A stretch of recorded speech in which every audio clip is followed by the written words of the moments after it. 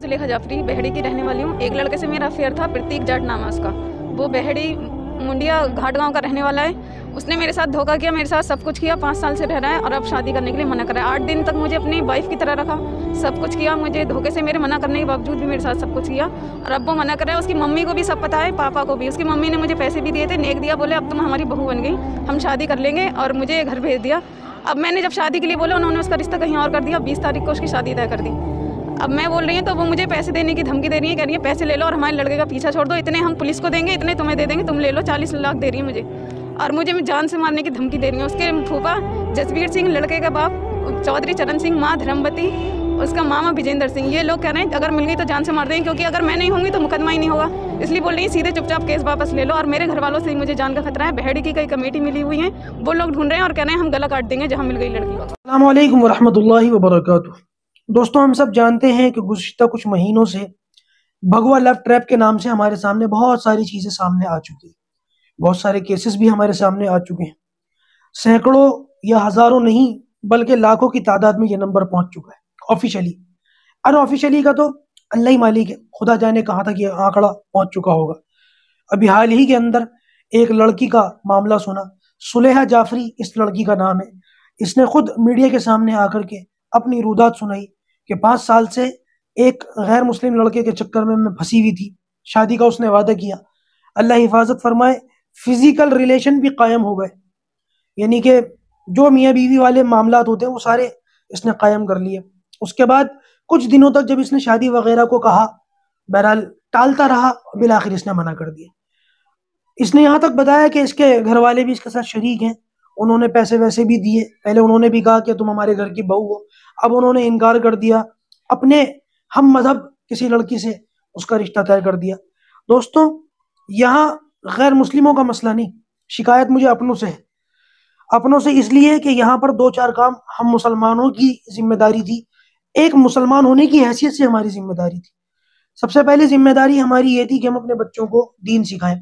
लेकिन अल्लाह हिफाजत फरमाए आज हालात ये हो चुके हैं कि दीन सीखने का और मदरसे के अंदर दाखिला लेने का ठेका सिर्फ़ गरीबों के हक में रह गया है। मुसलमान मालदार अपने बच्चों को, अपनी नस्लों को मदारिस का रुख नहीं करवाते।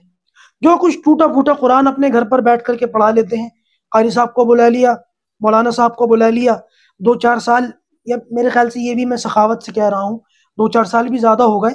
मेरे ख्याल से कुछ छः आठ महीने साल भर अपने बच्चों को घर पे रह करके टूटा फूटा कुरान पढ़वा लेते, बस यही काफ़ी है। ना उनको जनाजी की नमाज़ आती, न ज़रूरियात दीन आता। अल्लाह हिफाजत फरमाए, इस्तिंजा करने तक की तमीज़ नहीं होती।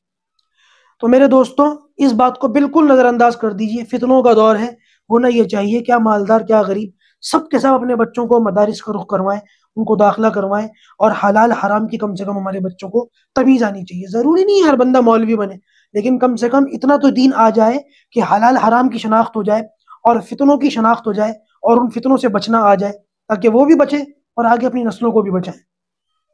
दूसरा काम जो करने का है, अल्लाह हिफाजत फरमाए, इसमें क्या मालदार और क्या गरीब, सारे ही फंसे हुए हैं। वो ये कि अपने बच्चों की बर वक्त शादी नहीं करते। एक तो शादियाँ देर से करते हैं और ऊपर से शादी को इतना मुश्किल कर दिया कि जीना आसान हो गया। एक फूल के ऊपर, एक चॉकलेट के ऊपर जीना हो जाता है आज। अभी देखिए, चौदह फरवरी कोई बहुत ज़्यादा दूर नहीं है। वैलेंटाइन डे के नाम से इसको याद किया जाता है। और इस मौके के ऊपर जरा जरा सी पचास रुपए की चॉकलेट के ऊपर अल्लाह हिफाजत फरमाए, बच्चियों की इज्जतें तार तार कर दी जाती है। क्या हिंदू, क्या मुसलमान, सबकी इज्जतें लुटती हैं। ये क्यों हुआ? क्योंकि हमने शादियों को मुश्किल कर दिया। मालदार अपनी शान के मुताबिक शादियाँ करता है। गरीब आदमी भी कर्जे लेकर, कमेटियाँ, लाटरियाँ डालकर, नेफ्ते डालकर, वो भी जो है अपनी अल्लाह हिफाजत फरमाए, हैसियत से उठकर शादी करने की कोशिश करता है। जिसका लाजमी नतीजा ये होना था कि जब शादियाँ मुश्किल हो गई तो जीना आसान हो गया। और फिर इस तरीके की लड़कियाँ, इनके ना ना दुनिया रही, ना दीन रहा, क्या रहा? बताइए, लोगों ने अपने बच्चों को मदारिस में तो डाला नहीं, और इन बच्चियों को स्कूल के अंदर, कॉलेज के अंदर, यूनिवर्सिटी के अंदर डाल दिया। और आज कॉलेज और यूनिवर्सिटी के क्या हालात हैं, मुझे वजाहत करने की ज़रूरत नहीं अल्लाह हिफाजत फरमाए, ऐसे इल्म से बच्चे जाहिल अच्छे, ईमान तो बचा रहेगा। मेरे दोस्तों, इन दो तीन कामों में अपनी ज़िम्मेदारी समझे, एक कौम होने की हैसियत से समझे। पानी सर से नहीं छत से ऊपर जा चुका है। अब भी अगर देर लगाओगे तो अल्लाह हिफाजत फरमाए, खुदा जाने कितनी देर में ये कितने दिनों के अंदर हमारे ये मुल्क स्पेन के अंदर तब्दील हो जाएगा। अल्लाह तबारक ताला इन बातों को संजीदगी के साथ हमें सोचने की, इन पर गौर फ़िक्र करने की, फिर इन पर अमल करने की तौफीक अता फरमाए। अल्लाह ताला हमारी, हमारे नस्लों की, जान माल की, ईमान की, इज़्ज़त आबरू की हिफाजत फरमाए और जल्द से जल्द अपने बच्चों का निकाह करने की अल्लाह ताला हमें तौफीक दे।